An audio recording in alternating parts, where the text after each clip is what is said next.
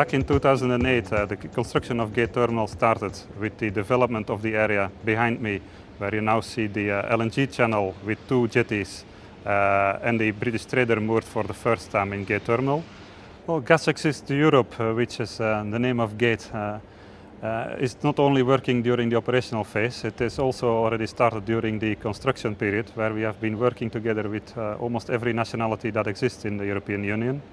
We spent 4 million man hours uh, on this project in a three-year period, together with the whole uh, team, and I mean then the uh, contractors team and also our own uh, project team. Uh, we have been able to uh, develop this terminal on time, on budget, and most of all with an excellent safety record. that has been a main driver for me and for the whole project team to be able to build this terminal safely.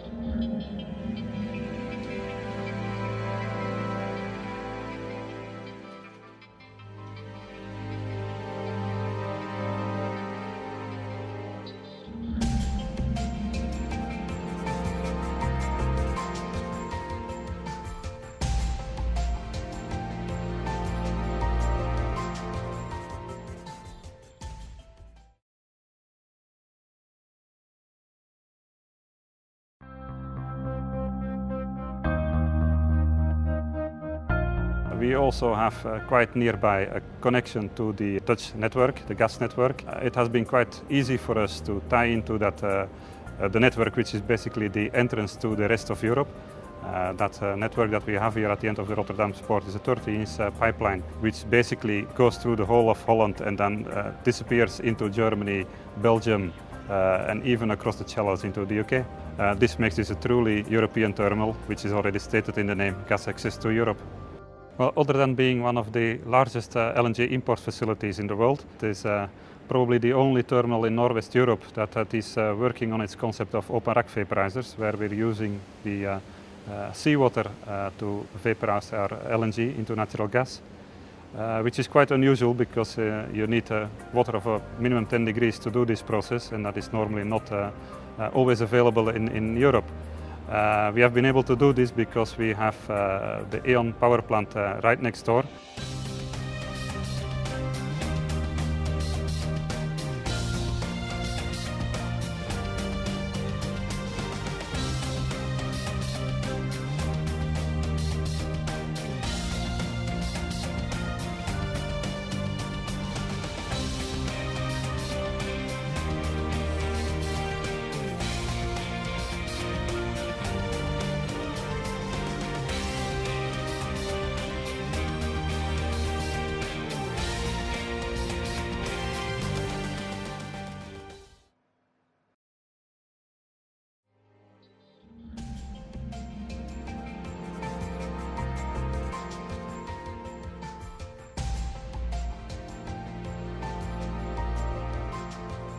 Well, the power plant is nearby, but still four and a half kilometers away and across the channel. So it has required a special project to do this uh, link, to make this link. We have uh, constructed a, uh, two large GRP lines uh, across the land for two and a half kilometers and then cross the channel with a micro tunnel of uh, two meters wide and one kilometer long, which is also in itself quite unique uh, in Europe. It has made this terminal a zero emissions terminal.